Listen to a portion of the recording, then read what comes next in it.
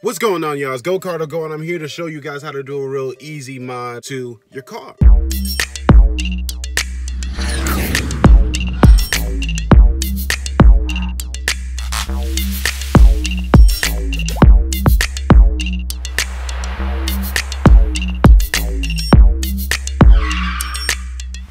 So, what I'm talking about in terms of doing a real easy mod to your car is something having to do with the dash.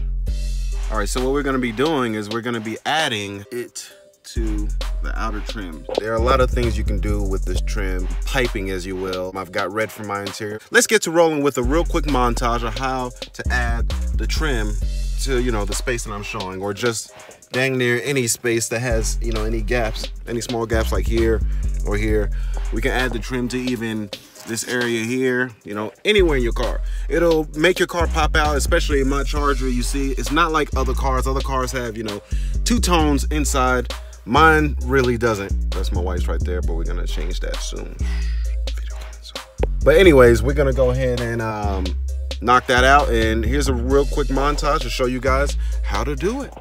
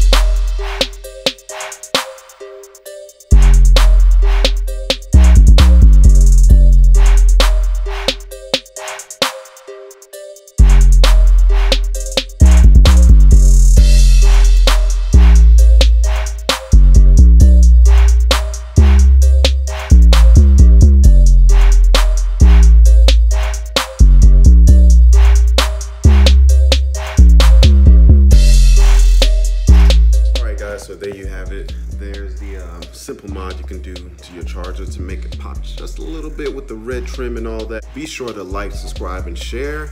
And I'm gone. Oh yeah, I'm in a new place. Stay tuned for that video. In the meantime, make sure you like, subscribe, and share.